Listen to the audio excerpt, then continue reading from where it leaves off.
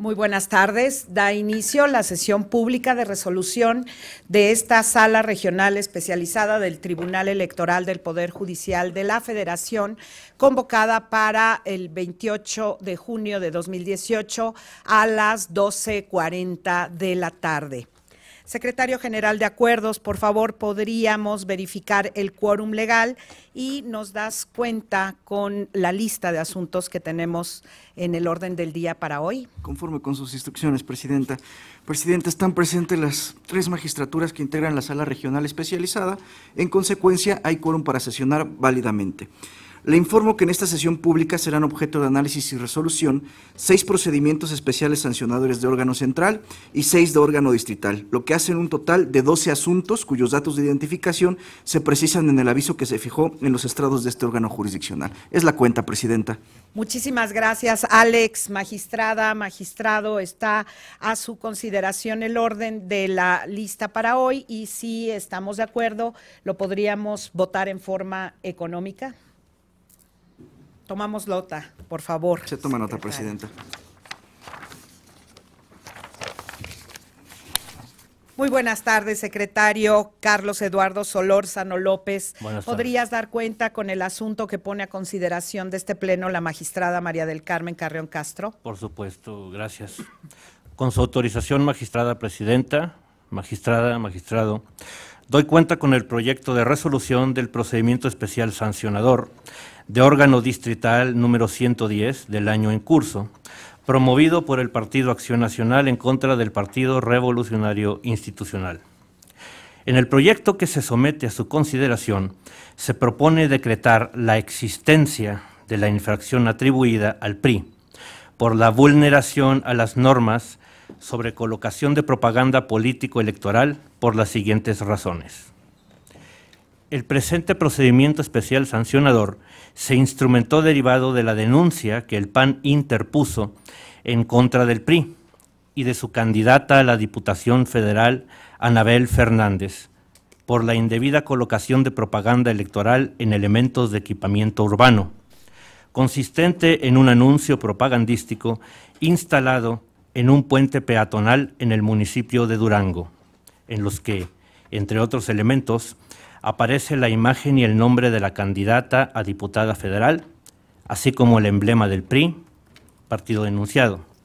Al respecto, esta sala especializada considera existente la infracción denunciada al estimar que aún cuando se observa que dicha propaganda se colocó en espacios presumiblemente destinados para la exhibición de publicidad, lo cierto es que el partido denunciado no acreditó de manera directa o indirecta contar con la autorización para su exposición, puesto que reconoció que por error de sus brigadas se habría colocado en ese sitio, motivo por el que ordenó su retiro.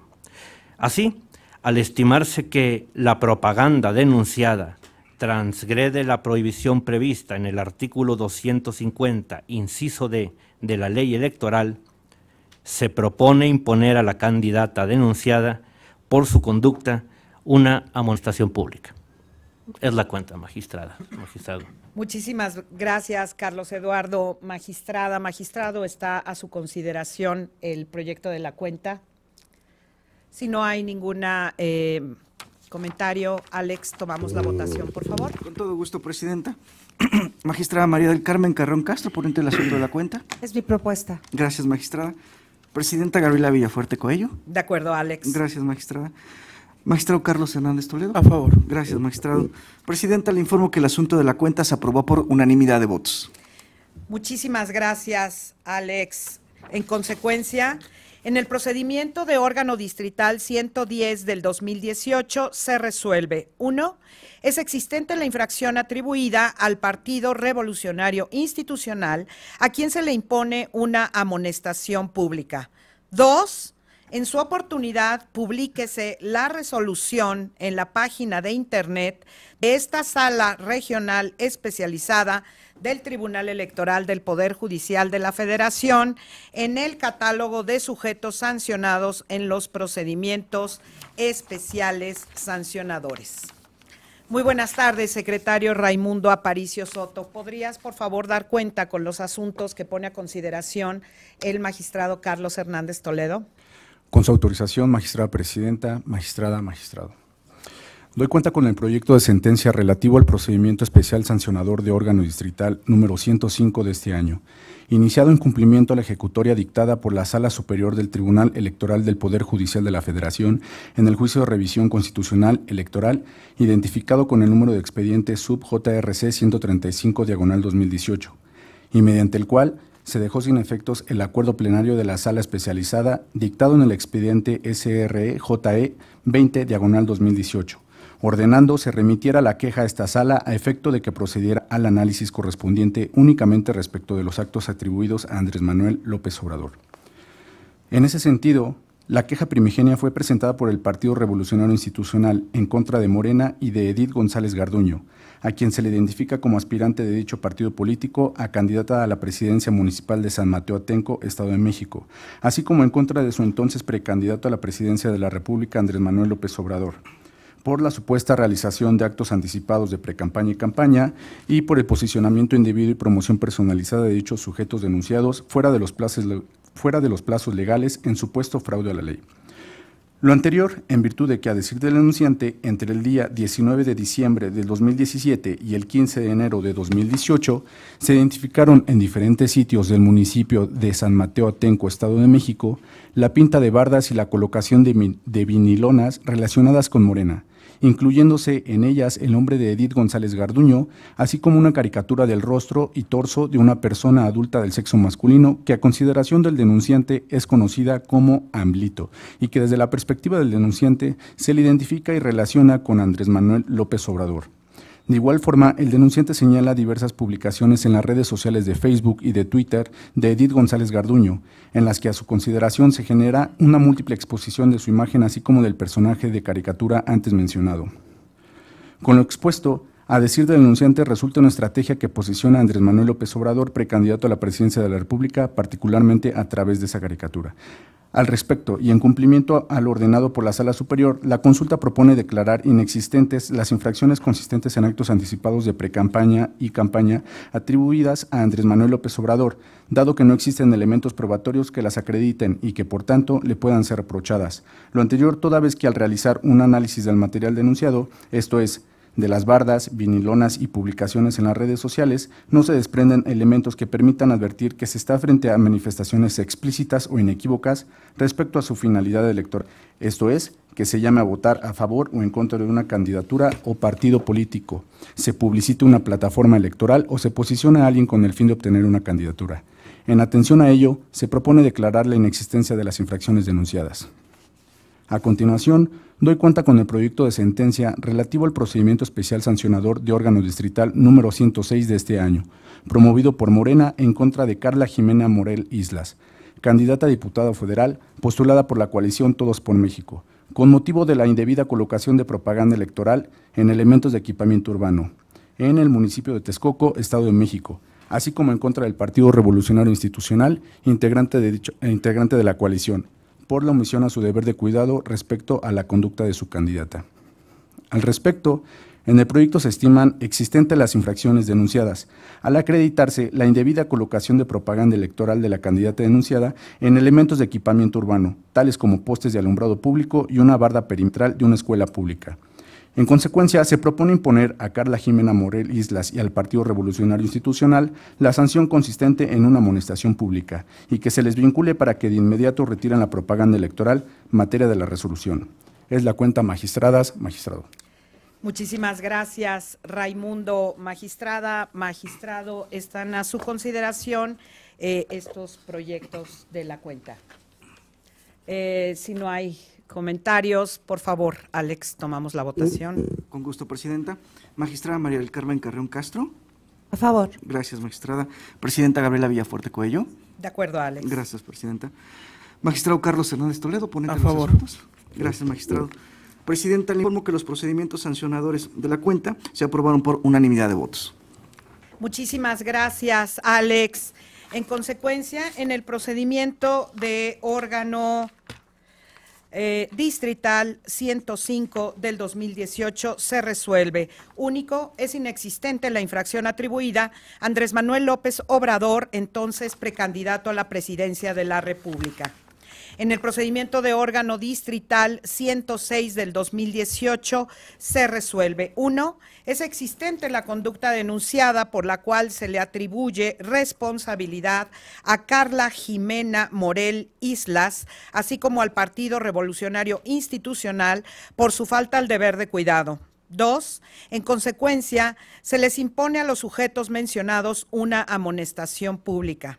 Tres, se vincula a Carla Jimena Morel Islas, candidata a diputada federal y al Partido Revolucionario Institucional, para que de inmediato lleven a cabo las acciones necesarias para retirar la propaganda materia de la resolución.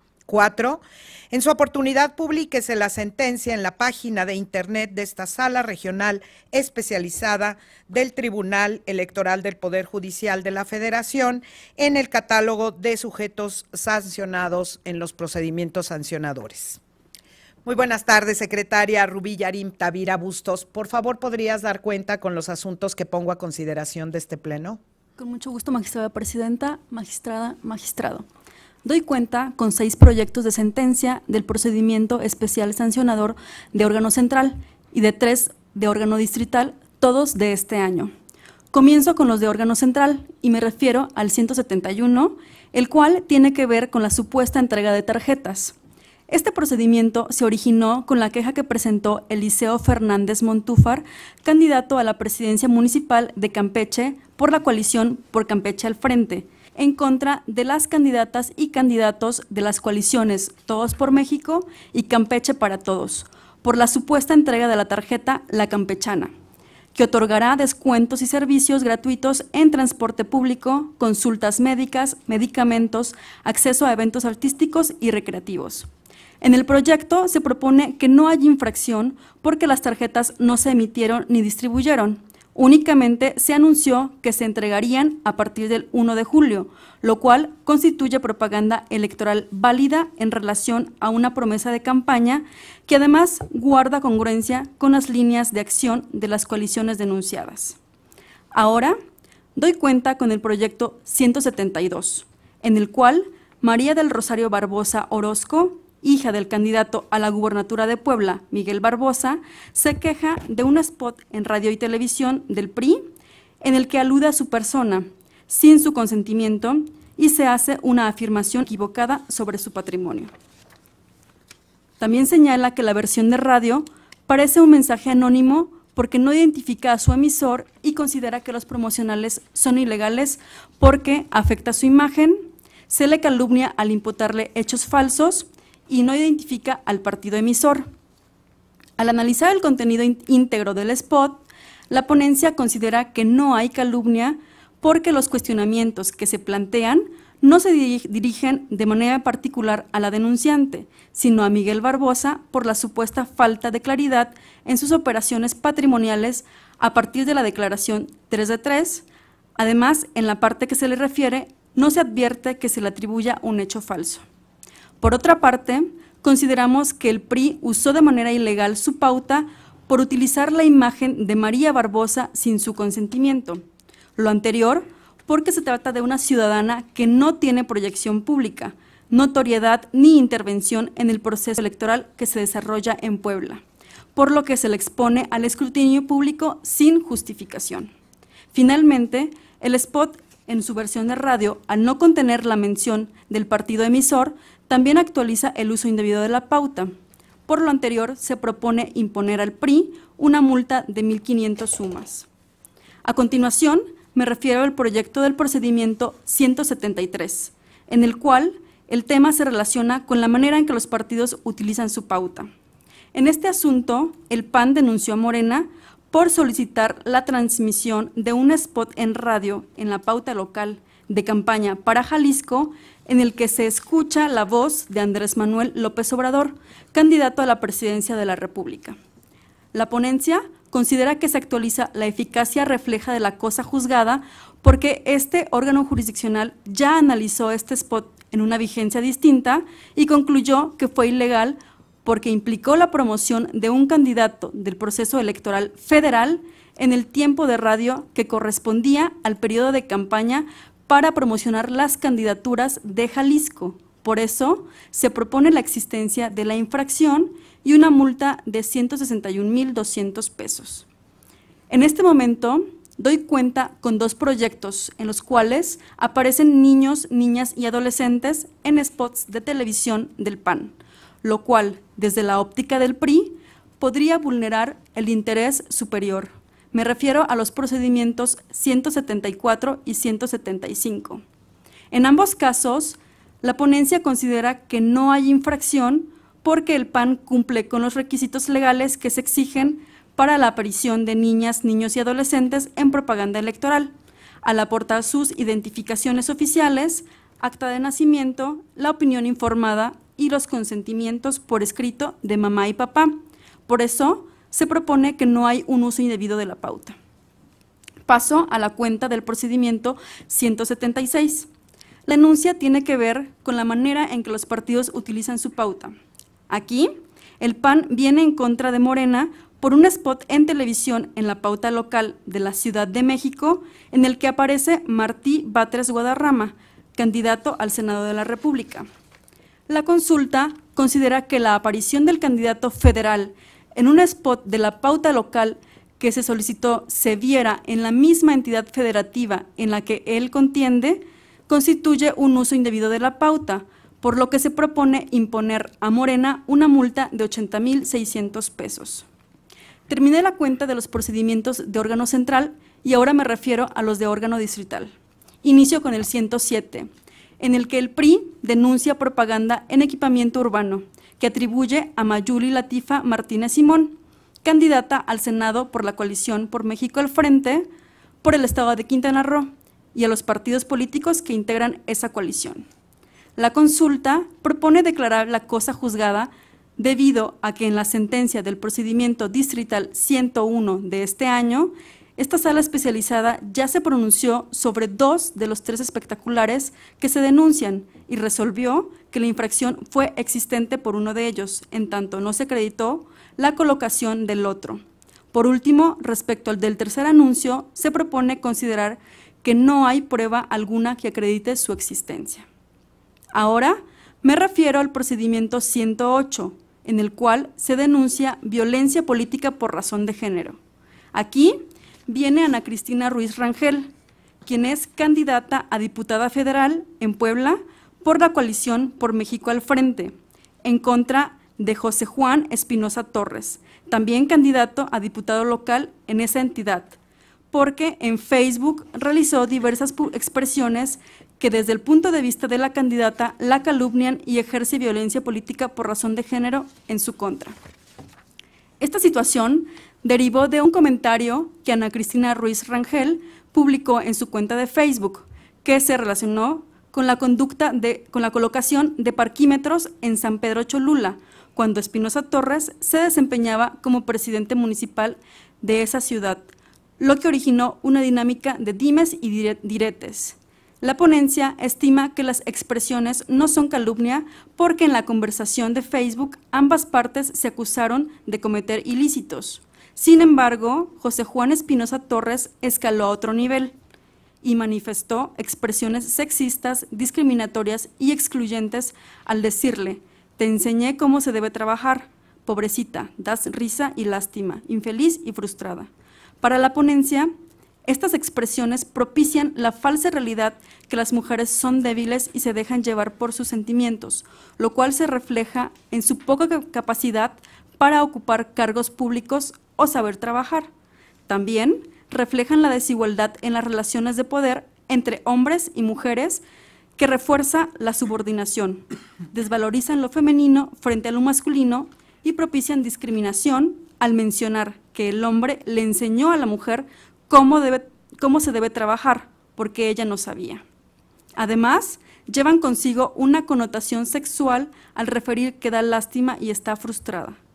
En consecuencia, la ponencia estima que las publicaciones fomentan desigualdad y discriminación y afectaron a la candidata de manera desproporcionada, porque le atribuyen características de debilidad y sentimentalismo que la coloca en una situación de desventaja ante sus contrincantes varones. Por tanto, se propone imponer una multa a José Juan Espinosa Torres y comunicar la sentencia a las autoridades electorales locales y el partido Morena en Puebla.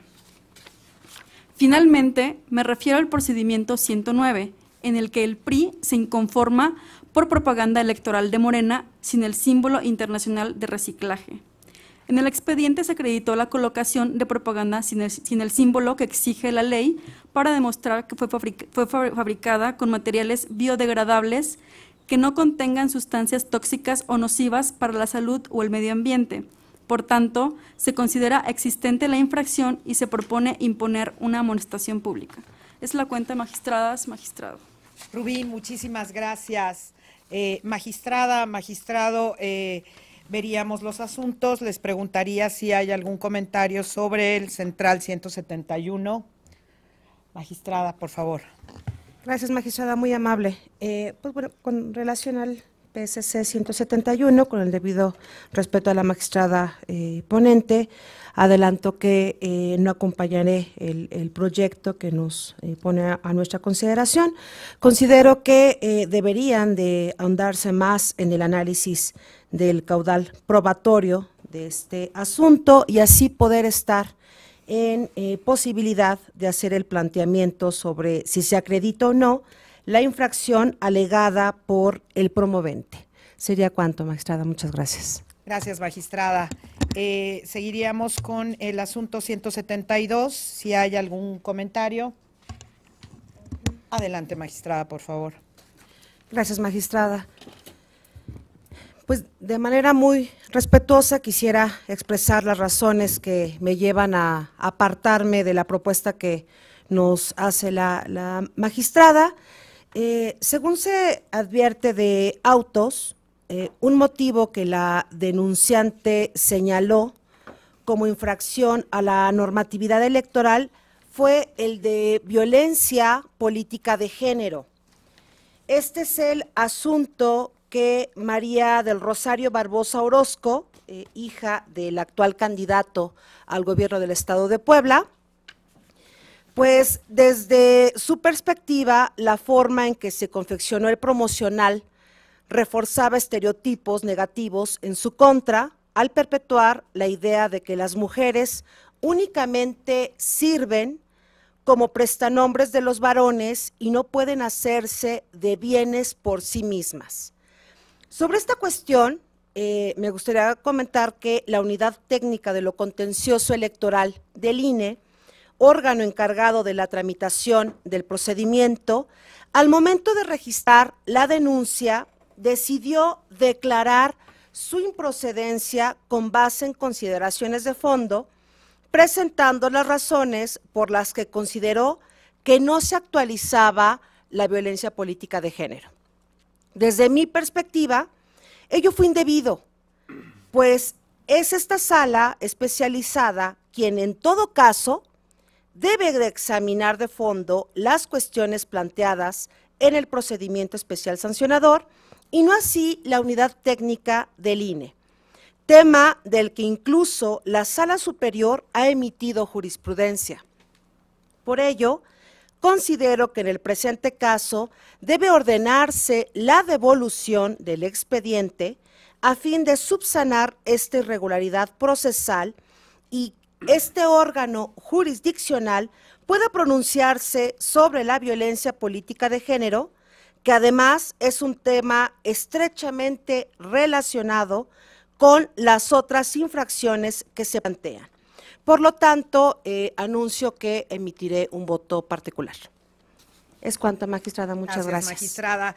En el asunto 173, ¿habría algún comentario? 174, les pregunto, el 175, eh, el último central, 176.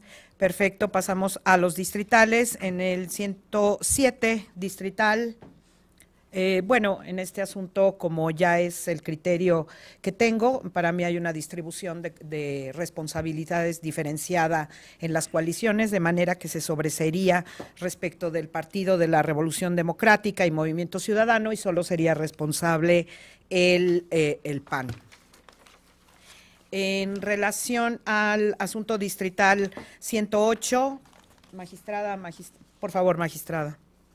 Muchas gracias, magistrada. Eh, con relación a este asunto que, también eh, tiene que ver con violencia política de género, eh, con el debido respeto, votaré en contra del proyecto por las siguientes consideraciones. Es con relación al PCD 108. En principio, debo señalar que en los casos que involucren cuestiones de género, como en el caso que nos ocupa, con independencia de que le asista la razón al promovente, es necesario activar el protocolo, lo cual se hace en este caso y es una obligación que tenemos como juzgadores. En segundo término, comparto lo razonado en el proyecto en cuanto al contexto de violencia que se desarrolla en el actual proceso electoral 2017-2018 y que incluso el estado en el cual participa como candidata, la denunciada, se encuentra entre los de mayor riesgo de violencia política por razón de género. Más aún, estoy convencida de que debemos ser cuidadosos para contener, sancionar y evitar los casos de violencia política y someter los casos a un escrupuloso análisis con perspectiva de género. En este sentido, una vez que analicé el asunto que se somete a nuestra consideración, considero que no se actualiza la violencia política de género, tomando en cuenta que las manifestaciones realizadas por el candidato denunciado se dan en el contexto de una discusión en torno a las actividades que tanto la candidata como el candidato tuvieron en su desempeño como funcionarios públicos a partir de la publicación de Facebook de Ana Cristina Ruiz Rangel relativa a la colocación de parquímetros en San Pedro Cholula, Puebla. Así, del análisis de las frases cuestionadas, no desprendo que generen en la sociedad una expectativa colectiva con la intención de mermar sus posibilidades políticas por el hecho de ser mujer, pues aun cuando las frases pueden resultar molestas o incómodas, lo cierto es que no visualizo que se realizaran vinculadas al hecho de ser mujer.